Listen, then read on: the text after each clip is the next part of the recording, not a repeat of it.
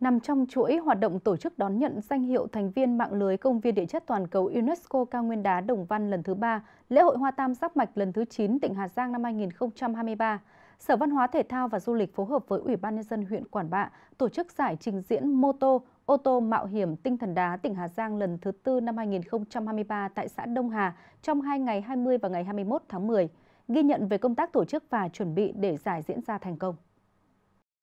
Giải trình diễn đua ô tô, mô tô mạo hiểm tinh thần đá năm 2023 có sự tham gia của trên 100 vận động viên đến từ các câu lạc bộ thuộc nhiều tỉnh, thành phố trong cả nước và có cả các vận động viên nước ngoài. Đến thời điểm này, huyện Quản Bạ đã phối hợp với câu lạc bộ mô tô thể thao địa hình Hà Nội đang tích cực chuẩn bị về cơ sở vật chất, sân bãi, đường đua cũng như nơi ăn nghỉ cho các vận động viên.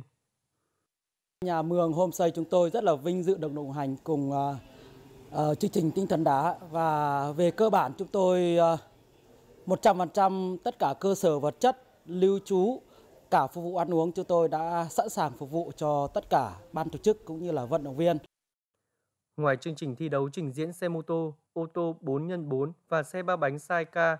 còn có hoạt động bay biểu diễn dù lượn và các hoạt động phụ trợ như giao lưu văn nghệ, tổ chức gian hàng sản phẩm đặc trưng, gian hàng văn hóa ẩm thực địa phương và các hoạt động trải nghiệm thể thao giải trí. Trong cái giải này thì chúng tôi ờ, có tận dụng cái địa hình à, tự nhiên và địa hình nhân tạo. Địa hình tự nhiên thì gồm các à, loại đồi núi, cây cối, à, đá. Còn địa hình nhân tạo thì chúng tôi sẽ tự tạo ra những cái địa hình nó khó. Ví dụ như tre, lốp và đá hộc loại to. Hiện tại thì chúng tôi đã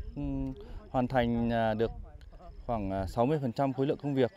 thông qua giải trình diễn ô tô, mô tô mạo hiểm nhằm quảng bá hình ảnh, phong cảnh và những nét văn hóa đặc sắc của đồng bào các dân tộc tỉnh Hà Giang, đồng thời tuyên truyền quảng bá giới thiệu sản phẩm du lịch, sản phẩm đặc trưng của tỉnh đến với du khách trong nước và quốc tế.